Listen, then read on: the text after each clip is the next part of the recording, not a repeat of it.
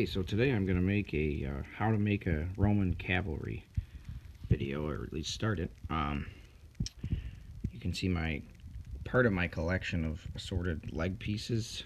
So for these guys, Roman cavalry wore, at least for the first century especially, and onward, they wore braccae, which were knee-length breeches. So in my cavalry video, I, I kind of go over everything that they wore. Um, the knee length breeches would have been something like this, right below the knee. Uh, this is really the only color I have. A, a, an off green like this wouldn't have been unobtainable in the Roman Empire, so it's not unrealistic. You would have had some auxiliaries wore longer pants like this. Uh, Germanics uh, and Gauls would have worn that, but your cavalry is going to wear these knee-length braccae. So we're going to start out with those for uh, the trooper. Now when I go through the selection process for uh, tunic color, um, I have to come up with what arms are going to match as well. So there's been many debates on the Roman pages, which were even called the tunic wars, of what color Roman tunics were. There was a lot of different colors. You would get an off-white, which would often turn into like a yellowish brown. So I think after kind of looking over my pieces. Now, if I go with an armor like this, because I'm a perfectionist, scaled armor, this is great, but I like to put stickers around the rest of it to make it look like it goes all the way around. So, I've done that with a few of my uh, my uh, legionaries I'm working on for the 16th Legion, but it's almost easier to just do a full sticker. Uh, I have a yellow here, which I might go with, and I have uh, long sleeved yellow arms. Now, a yellowish color, yellow brown was very common. Uh, this brighter yellow, not as much, but uh, they wore they wore long sleeve tunics. It's very prevalent on reliefs that even as early as the first century BC and even late first century BC, first century um, AD, they were wearing long sleeve tunics because they were auxiliaries. They were from Celtic origin, Germanic, um, and that was the style of clothing. Phase three is finding um, a head. You can see I got some a lot of collection of these really nice armor pieces, which I really like. Um, Lorica Squamata. Um, I've got uh, most of my uh, heads with the slight facial hair used up because those are my favorites. So I guess we'll go with uh, one of these for the head. Okay, so we're going to improvise a little bit here. Digging through my collection, I found uh, an old farmer here. Um, you got a little darker, not so bright yellow on this color, so we're going to go with that for the color of the tunic.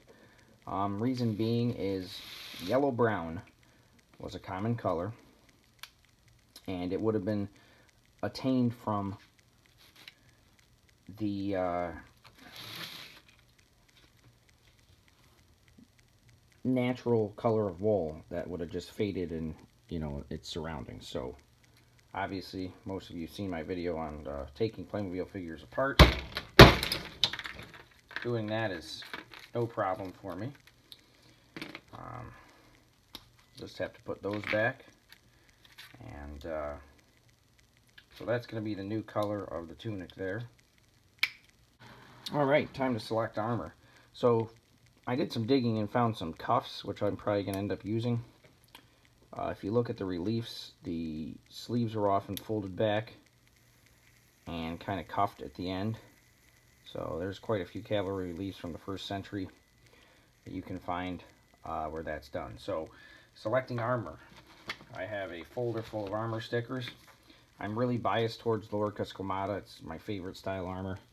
Uh, but I got officer armor, belts, baldricks, all these things. But with these particular guys, since uh, I have been really biased towards, I should say, uh, Lorica Squamata, which is the scaled armor. Um, I'm going to go with a Hamata on these guys since Hamata was really popular with cavalry, so it was either Hamata or Squamata. So the uh, mail armor is what I'm going to go with on uh, this cavalry trooper. Okay, so the absolute must-know trick about putting armor on is rubbing alcohol. Rubbing alcohol is your best friend when working with things like this. You want to clean you want to clean your pieces and you want to wear gloves because your fingers are oily and they have all those little oils on them and uh, this way you clean it up real good and then you don't have any issues with uh, anything sticking. So we'll clean that up good, let it dry for a couple seconds, and we'll put the armor piece on. So I always start with the back. Um, this takes practice skill. It's taken me a while.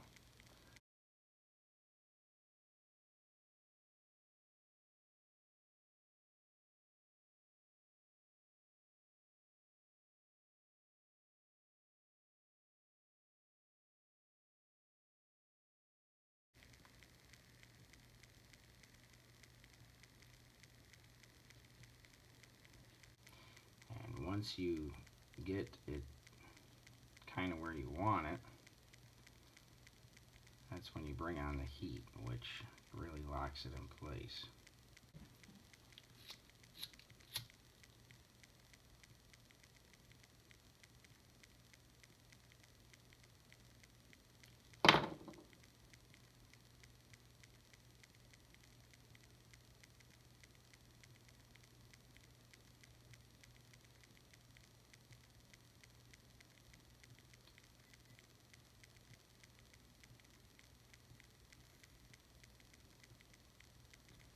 I can use something like a perfect thing is the uh,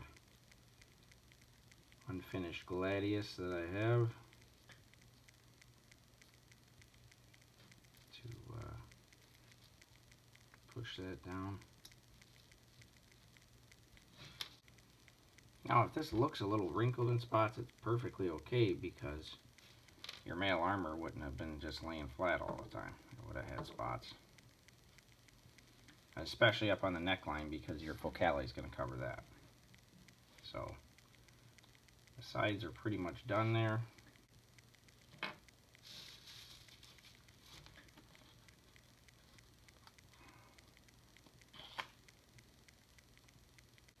Now we go with the top piece.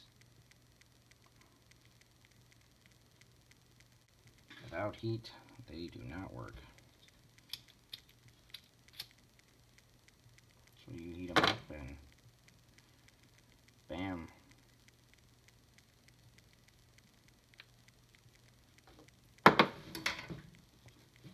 Now the blow dryer, like I said, works way better. Not down here right now. Probably need to go invest myself and go invest in a blow dryer.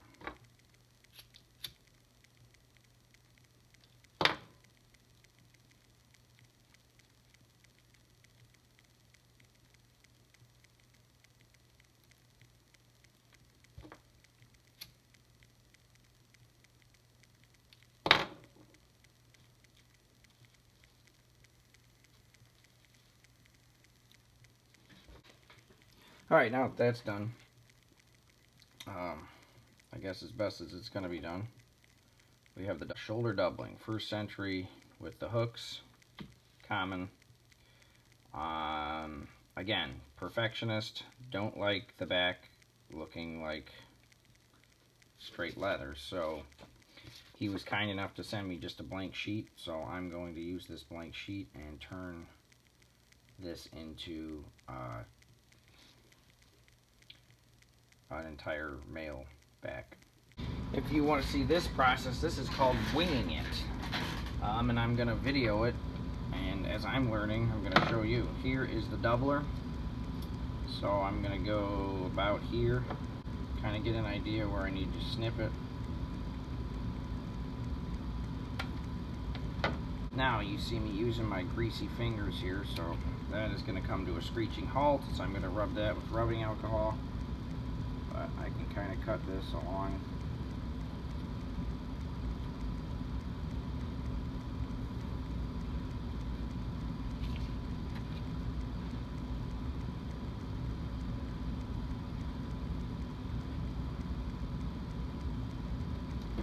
and before peeling it off I'm going to try to get it a, a pretty good fit Okay, so I cut the doubler out. I rubbed it, got it with rubbing alcohol. So I'm gonna just unstick this.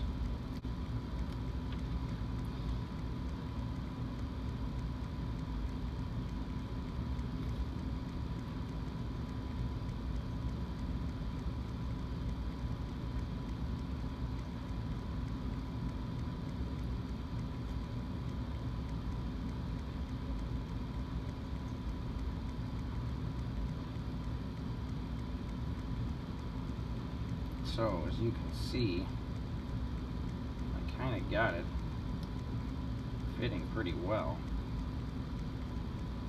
And I'll come back after I got it on there pretty good. Next phase is a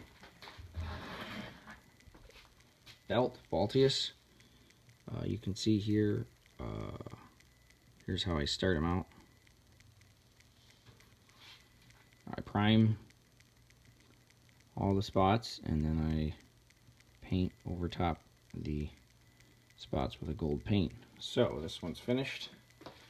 This will be the belt. Now, your cavalry troopers, as far as history tells us, were baldricks. So the baldric will be over top doubling. We're going to go with putting this in, getting the trooper put together for the most part.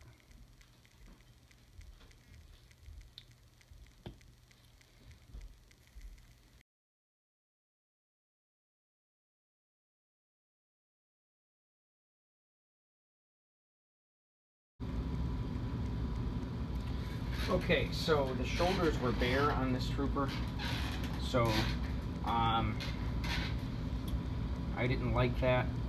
I grabbed these, these mail um, pieces that clip on the shoulders to kind of extend the armor to cover the shoulder. It wouldn't have been this extreme, it would have probably been somewhere right in the middle. But I really thinned out some gold paint uh, with a lot of thinner, no primer, just to kind of give this a, a little bit of a touch to blend it in with the, the, the kind of off-colored mail armor that this trooper has. I'm impressed. Uh, we'll see how he uh, how he turns out. I've I've mixed in a little bit of a brown with my gold, and now I'm going to paint the back of the sticker to match it up with the rest of the armor. Uh, I'm going to do that on the shoulders as well to just kind of blend everything together, give it a uniform look like it's one piece.